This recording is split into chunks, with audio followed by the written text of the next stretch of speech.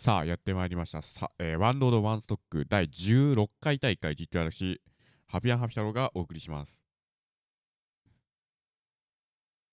さあ、まず前哨戦 PVP です。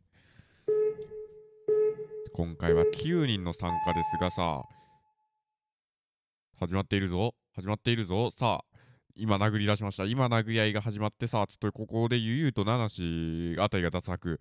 さあ、3人の戦い、あー、両陣熊の子同時に落ちて、川捨てがひとまず1位を取りました。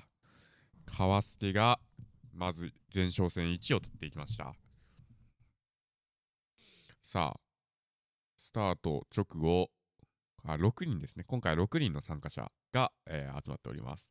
生産狩りがおそらくこう自滅して、そしてその後、悠々ともここをちょっと抑えてしまい、七しもとされて、